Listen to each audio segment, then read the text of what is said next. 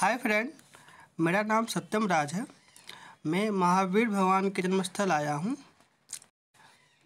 आशा कर तो आप इंजॉय कर रहे होगे।